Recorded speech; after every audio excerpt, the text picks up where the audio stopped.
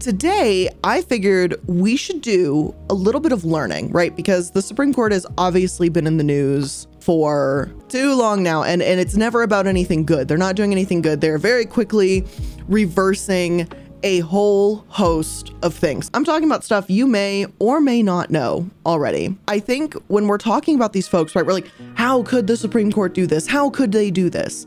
Well, it turns out when you take a look at their history, things that they've historically stood for, things that they've said, you kind of learn a little bit more context. Not that any of it is good, but it at least helps you understand who exactly are these people making decisions.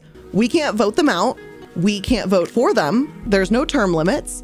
And unless other branches of government decide to step in, gather enough folks to agree to remove them from court, these people aren't going anywhere. And they are quickly turning back the hands of time at an alarming rate that I didn't even know you could do so quickly, to be honest. So, yeah, put on your hats, your learning hats. We're going to be doing a big thunk today about certain Supreme Court justices and and what they're actually okay with. I probably should put a bit of a trigger warning in here right at the beginning. We're going to be discussing like rape. I believe if I'm correct. We're going to also be discussing bestiality. So, that's your heads up. I can nearly 100% guarantee that members of the Senate knew this information about Supreme Court justices and still confirmed them. As you know, the Supreme Court justices are meant to be impartial. They are meant to preserve the justice of the people, the law of the land of the United States, okay? According to the Supreme Court justice itself, it is equal justice under law. That's what the court is supposed to be for the record. I'm not saying that's what it is. So we're going to go ahead and start by talking about Justice John G. Roberts. So Justice John G. Roberts is typically known on the Supreme Court right now as the swing vote. Uh, he's controversial to both sides and disappoints both sides in various ways. Uh, not as outright horrific in the way that others are, but but horrific all the same. So according to Britannica, nothing initially interesting here, right? Now, let's go ahead and take a look at this article. Chief Justice Roberts reflects on conflicts, harassment, and judicial independence. This is an article that essentially is discussing how he acknowledges institutional challenges, but tells the public only judges can fix them. Chief Justice Roberts is taking a page from his old playbook, acknowledging institutional challenges in the judiciary, but telling the public that only we judges can fix them. And then it continues to say, Yet the problems of overlooked financial conflicts and sexual harassment are so serious and endemic that there's no indication they're going away. So, Congress has every right to step in and, via legislation, hold the third branch to account, which I expect to happen in 2022. Now, of course, here we are in the middle of 2022. Congress not really holding much into accountability, if we're going to be quite honest. So that kind of falls a little bit on deaf ears. These justices are knowingly breaking laws, and he just says it's fine because it's less than 1% of cases, which is essentially the whole thing to unpack about what's in this article. Now, here's the reality even if it is less than 1% of cases, that isn't something that should be excused, especially if you are someone who's part of the court system, you know, the, the moral authority of the rules and the laws of the land. But that's his point of view. I think there's other justices I, I have a disdain for more, but I understand the sentiment. Yeah, so everyone hates him apparently. This is just beautiful, this setup here. Chief Justice Roberts' lifelong crusade against voting rights. And they kind of break it down. Because if you look through this guy's voting history, he's never really been for like people, like giving a shit about people. If you've ever looked at how this guy consistently rules and judges, he at least has a consistency in that regard. Unfortunately, it's not a good consistency. A little bit of background, he's upset. Let's read this, shall we? Because I think that little top part's important to know why he's upset. The House had recently passed legislation extending the Voting Rights Act of 1965, a seminal civil rights bill that dismantled much of Jim Crow and shoring up one of its key provisions after a 1980 Supreme Court decision that had severely weakened the law. Meanwhile, the filibuster proof majority of the Senate had co sponsored the same bill. Does that help put into perspective just a hair as to how this justice feels about human rights. This is this is what he's about. And here, Robert's early crusade against voting rights ended in failure. Though President Reagan preferred a weaker voting rights law, He once described the Voting Acts right as humiliating the South. That is who is one of our Supreme Court justices. Why would the Voting Rights Act be humiliating, you might say? Is it because perhaps you don't believe that black folks are human? Could that be the problem? Okay, Bill of Rights. This comes from the whitehouse.gov for the record, so again, it's been digitized and all that good shit. So the First Amendment provides that Congress makes no law respecting an establishment of religion or prohibiting its free exercise. It protects freedom of speech, the press, assembly, and the right to petition the government for a redress of grievances. So there it is right there about religion. You cannot respect an establishment of religion, which means you cannot give it favorability, but you also cannot prohibit it from being a church too, which means you can't you can't discriminate against a church, but you also cannot respect it or in other words, you cannot favor it. So, by turning over a human right, the right to medical privacy and the right to choice, that is now in fact favoring one particular religious belief, and that is Christian belief, which is a direct violation of the First Amendment. Now, let's move on to everyone's favorite Supreme Court justice, shall we? Let's talk about Clarence Thomas. This guy is the one who's got some fucking skeletons in his closet. The stuff I gave the trigger warning for earlier, that's for him. I'm posting it again right here to let you know it's gonna be bad. This motherfucker right here, who's okay with overturning Roe v. Wade, obviously voted for it. In his opinion piece, voted to overturn the contraceptive rights, rights for LGBT, and rights for LGBT to get married. So not only just to date the person, but for marriage. Do you know what rule he interestingly enough left out? He left the ruling out of what we should reconsider around interracial marriage. And do you know why that is? His wife, Ginny, is white. So it wouldn't benefit him to overturn interracial marriage. Everything else doesn't matter. And his wife's too fucking old where contraception doesn't fucking matter to her anymore because she is most certainly postmenopause.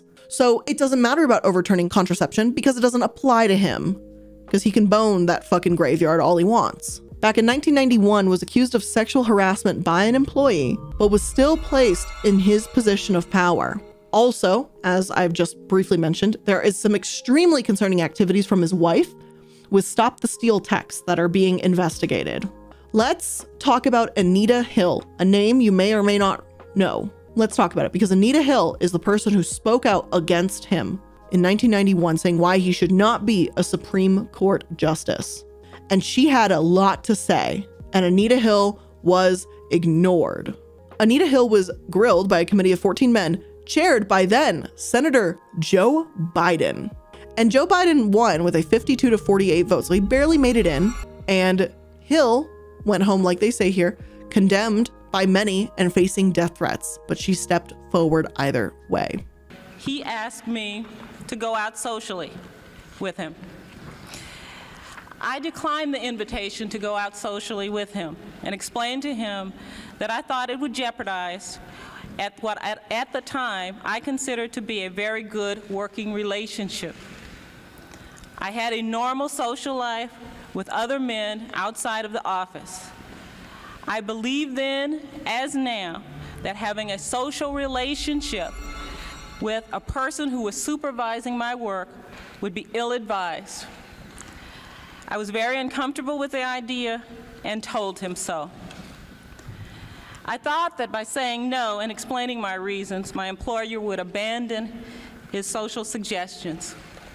However, to my regret, in the following few weeks, he continued to ask me out on several occasions. He pressed me to justify my reasons for saying no to him. These incidents took place in his office or mine.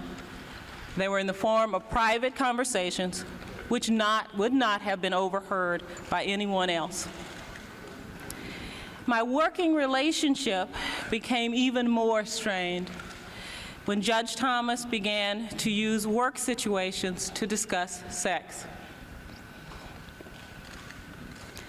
On these occasions, he would call me into his office for reports on education issues and projects, or he might suggest that because of the time pressures of his schedule, we go to lunch to a government cafeteria. After a brief discussion of work, he would turn the conversation to a discussion of sexual matters. His conversations were very vivid. He spoke about acts that he had seen in pornographic films involving such matters as women having sex with animals and films showing group sex or rape scenes. He talked about pornographic materials depicting individuals with large penises or large breasts involved in various sex acts. On several occasions, Thomas told me graphically of his own sexual prowess. Because I was extremely uncomfortable talking about sex with him at all, and particularly in such a graphic way, I told him that I did not want to talk about these subjects. I think that was important for you to hear. That is talking about Justice Clarence Thomas. Not only overturned Roe v. Wade, was real happy about it and said that that's not even enough. That woman, Anita Hill, received death threats for speaking her truth about his disgusting behavior. He doesn't want to overturn Virginia v. Loving because, again, that made interracial marriage legal, because his wife, Ginny, the fucking traitor, is white. So that affects him. So he doesn't want to overturn that. But overturn rights for the gays, overturn rights for women. Well, he's not a woman. He's not gay. So none of that matters to him. So here, in case you guys don't know, here's Dear Miss Ginny, insurrectionist queen, with Supreme Court Justice Clarence Thomas, who wants to turn over every fucking right except the right to interracial marriage because that one would affect him personally. So Virginia Thomas, Ginny, uh, the wife of Supreme Court Justice Clarence Thomas, for the first time has publicly acknowledged that she participated in the January 6, 2021 Stop the Steal rally on the Ellipse that preceded the storming of the Capitol by a pro Trump mob, raising questions about the impartiality of her husband's work. Well, well, well, what have we there in the very first fucking paragraph? About as good of a photo as we're gonna get of this damp paper towel of a human. LGBTQ rights in 2017 the Supreme Court summarily overruled the Arkansas Supreme Court decision to deny same sex parents the same right to appear on a birth certificate. I remember that. He wrote in the dissent, joined by Thomas and Alito, arguing that the court should have fully heard the arguments of the case. What part of that was fucking confusing? We are going to talk about Kavanaugh on my little my little listy. Kavanaugh is next. So yeah, so he was against uh, same-sex parents having the right to appear on a birth certificate. Then, in a ruling 6 3, he joined Chief Justice Roberts and the four Democratic appointees, arguing that it improperly extended the Civil Rights Act to include sexual orientation and gender identity. So let's see here on abortion. In 2018, Gorsuch dissented with the court and voted against hearing cases brought by the states of Louisiana and Kansas to deny Medicaid funding to Planned Parenthood he and Alito joined Thomas's dissent, arguing that it was the court's job to hear the case. So they were chomping at the bit in 2018 for this. We're going to be discussing sexual misconduct. So let's talk about Justice Kavanaugh, because I remember these hearings quite fucking clearly, unfortunately. So this motherfucker uh, is appointed by Trump. So Brett Kavanaugh, Supreme Court Justice nominee, is facing multiple allegations of sexual assault these three women came forward, have accused him of sexual misconduct in high school and college, and an anonymous allegation has also surfaced. So we've got four people speaking up and saying, This motherfucker has, in fact, harassed me sexually. So the Washington uh, Post published an article that identified Ford as the accuser and detailed her allegations that a stumbling drunk 17 year old Kavanaugh pinned her down, put his hand over her mouth, and groped her while his friend watched.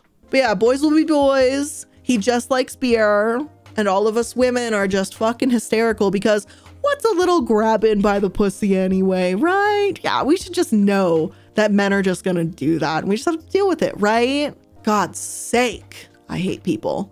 Uh, another one, Deborah Ramirez, a former Yale University classmate of Kavanaugh, said that Kavanaugh exposed himself to her at a dorm room party in the 1983 1984 school year when he was a freshman. So this would have been a year after this other girl. Julie Swetnick says Kavanaugh was present at 1980s party where she and other women were gang raped together. So Julie signed in a sworn declaration alleging that she witnessed Kavanaugh and Judge display abusive and physically aggressive behavior towards girls during a series of house parties in the 1980s where the boys would spike punch with drugs and alcohol to cause girls to lose their inhibitions or ability to say no. Swetnick alleges that this was done so that girls would be gang raped by a train of boys and that she was one of such victims. I have a firm recollection of seeing boys lined up outside rooms at many of these parties waiting for their turn with a girl inside the room. So let that one sink in. He also has a history of absolutely loathing abortion, which I'm sure is shocking to nobody. Now let's talk about uh, our next little darling, Amy Barrett. Amy Coney Barrett served as a handmaid in a Christian group, People of Praise. Now that's quite an interesting article, isn't it? A 2010 People of Praise directory states that she held the title of Handmaid, a leadership position for women in the community, according to a directory excerpt obtained by the Washington Post. Also, while in law school, Barrett lived at the South Bend home of the People of Praise's influential co founder, Kevin Ranaghan, and his wife, Dorothy, who together helped establish the group's male dominated hierarchy and view of gender roles. Madness! This is madness. We've covered cults and shit before, and she's in our government right now. Unsurprisingly, obviously, voted to overturn the right to medical privacy that was granted through Roe v. Wade. So let's talk about her, some of her issues. Take policing, and this is written in 2020, the article, by the way. In the case of Torry et al. v. City of Chicago et al., she concluded that officers were reasonable in stopping and harassing a group of black men, even though there was absolutely no evidence that they had committed a crime. She does not give a shit about anyone who is who is not a white man or a white Christian.